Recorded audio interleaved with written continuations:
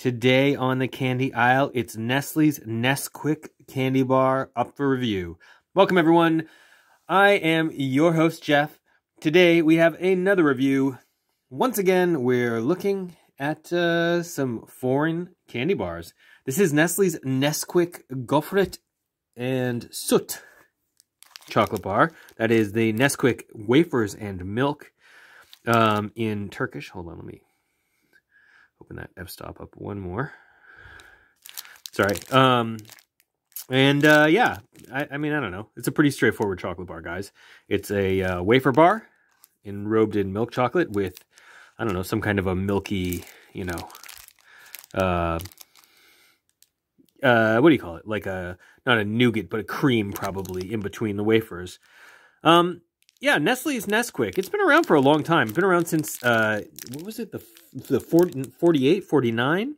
Released in, uh, as a powder, obviously, quick. It was released as a powder, um, chocolate powder. And then later a few other flavors came up. Strawberry, notably. Um, uh, banana. Yeah, it's a popular one. Um, but uh, it's been released uh, as a as a chocolate powder that could be added primarily chocolate, that could be added to milk, or I guess some other milk-like product, um, to create, you know, chocolate milk. Um, when it was launched in the United States, Canada, Mexico, Australia, I presume New Zealand as well, it was just branded as Nestle Quik in the 50s. Just that part. Nestle Quik. So that's what I grew up knowing it as, Quik. And then um, in Europe, it has always been, since its launched in the 50s or 60s, uh, labeled as Nesquik. Um, but then in 1999, globally, they just decided to change the branding to Nesquik everywhere, which I think is fine. It's got a little rabbit mascot. This is Quickie the bunny.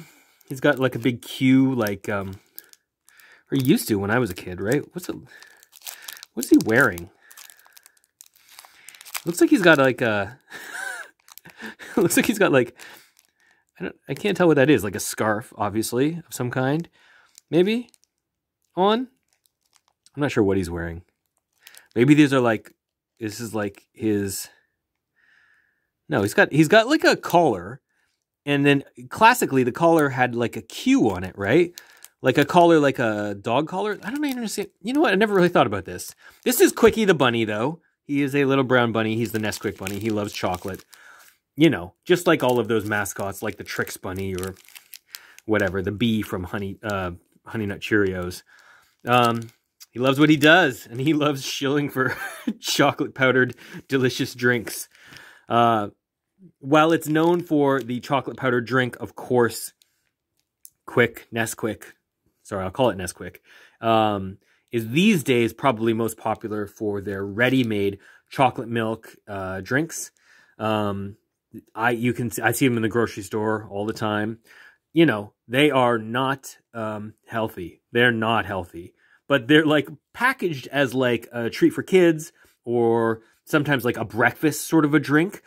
But they're like, let's be clear, guys, they are not healthy. They are like very, um, very sugary.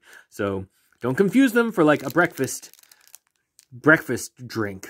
Uh, speaking of breakfast, Nesquik has also made uh, a few other products like um, like the drinks, like obviously chocolate syrup uh, you know, probably only rivals here in Canada and the States um, alongside the Hershey's um, chocolate syrup. Um, but uh, the um, they've made a cereal too, Nesquik cereal, which uh, I've had before, and it you know like Cocoa Puffs would turn your milk into chocolate milk. Anyway, this is a chocolate bar. I, they definitely do not sell this here. If you go to the Nesquik um, website for you know Nesquik.com, they only list the stuff that they sell in the United States and Canada, which is um, the the powdered mixes, the powdered drink mixes, the ready-made drinks, and then the syrup. So this is a product I've never had before, but I'm not expecting anything too crazy with it. Oh, if you guys want to see, here's it does say here made in Turkey down down there somewhere. Um, I don't know, best before. This isn't too old, I hope. 20 April 2021. Hey, I made it just in time. uh and uh da, da, da. I mean, I don't I don't I can't read that Turkish and then you got the Arabic here, so All right. I mean, let's just go into it, guys. Let's go into it. Oh boy. It's not too hot today. I don't but it feels I'm already a little concerned about it being melty. Oh yeah. what does this remind me of? It's like another bar like that this reminds me of. Not there, not there. So that's what we're looking at. Interesting. It doesn't really look like the... I mean, I guess it does. The two layers of uh, the milk here are in between the wafers. The uh, chocolate is already kind of coming off, but you know, that will happen anywhere. Let me give this a try. It, it, looks exactly like something else, and I can't put my finger on what, what bar it is that it looks like. Guys, let me know in the comments below. Hmm. Hmm. That's not bad. Hmm. Mm-mm-mm.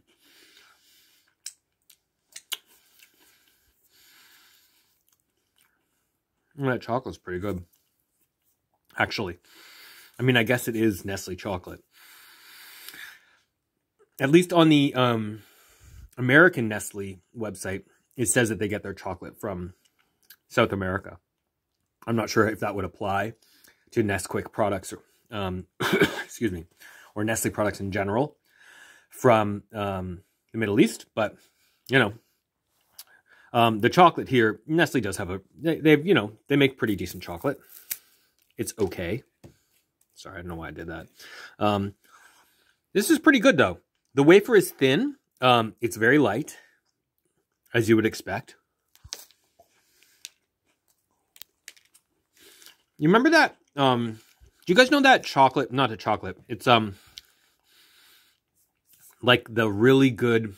Is it starts with an F? No, it's a Q. It's like a quad, quadra. I want to say like quadrano, quadrilateral. there's like a, there's like a square. Uh, that comes. It's like a square wafer confection. Um, like two wafers, maybe three wafers, with like a filling in between, and uh, and then it comes in a bag, like like the Lindors would come in. Um, what is that name of that product? Man.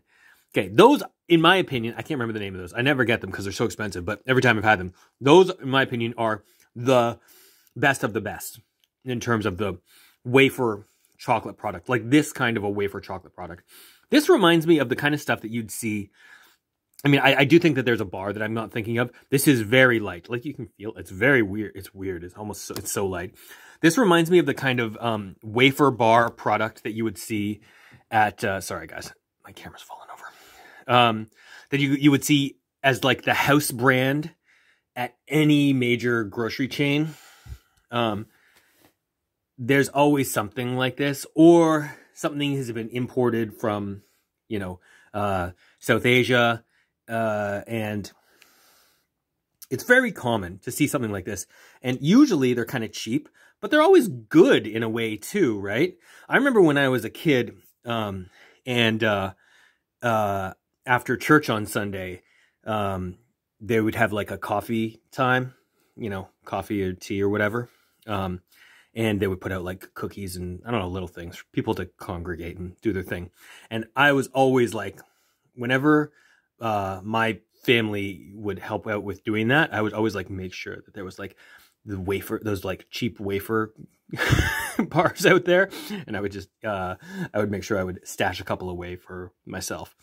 Um, kind of reminds me of that. But like, it's not like, it's nothing bad against, against them. It's just like, it's a quality level that's like pretty, you know, kind of low quality.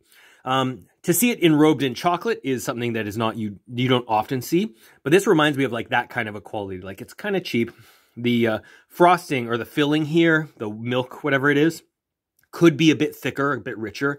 That's certainly like the quad or whatever that whatever that heck that name is of that uh, square. I'm really having a hard time with my words today, guys. you guys can help me out in the comments below. You know that square bagged one that I was talking about, bagged wafer confection. That is um That one always, that one had the best because the filling, like the frosting filling in that one is like so good. This one is, could be bigger, could be more. I wish it was a bit more uh, denser. Um, but I do like in a way how light and wafery this is. It's, uh, even look at the, look at the chocolate here. It's very, very thin, right? It's like, like you can see through it basically. Um, so it's a really light, light coating. Uh, this whole thing is very light. Um, but that probably serves it well. Um, I don't know if that's something to do with chocolate from the Middle East. I know that the chocolate I've had from the Middle East, some of the chocolate itself is not always the best quality, but um, I think that some of the snacks I've seen may have a tendency to be a bit lighter. Um, I don't know. Would that have something to do with like the heat? Would you want something lighter? I'm trying to think. I spent some time overseas in, um, uh, I was in sub-Saharan Africa uh, for about almost two years, and I'm just trying to think of the kind of candies that I would see like on the, the street candies, you know. Um, it wasn't much of that. It was a lot more like street meat, really. I should ask my wife because she lived in Turkey for a little while. Um, hmm. I don't think she would know this though. I I feel like this is uh, you know perhaps uh I don't know not quite obscure. I mean it is branded with Nesquik, but you know it's it's just uh it it is what it is, guys. I can't imagine that this is like breaking the bank, some major hit overseas that I've just never heard of. I still expect if you you're in you know uh, you're in Istanbul, you're gonna go. You can still go get a Kit Kat. You know, there's not really a reason why you're necessarily rushing to get the Nesquik bar. Um, but you guys, let me know if you happen to. I don't know if I have any viewers from over there. If you do, if you are, like, let me know. I'd love to hear about it. Um, what your experience is in the stores, and do you guys know this bar? For me, it's good. I, I like. I like it. It's, but it, it is what it is. Just know that it's very light. Um, almost like like you're it's not like filling there's no way you're going to say that uh so I, I think i don't think that it's going for that though so i think that it achieves what it sets out to do um being light and pretty tasty uh, so I'll recommend it. I, I think it's decent. Yeah. So walking the candy aisle is going to rate the Nestle Nesquik bar. Um, I'll rate it a four out of five. You know, good job with a fairly simple kind of an execution. I guess that's it. But you know, good branding, like caught my eye when I saw it in the store here. So, anyway, that's my thoughts on it. Guys, let me know what you think down in the comments below. Help me out with all the words that I was having trouble remembering this episode. and I'll talk to you next time. All right, so long, everyone. Bye bye.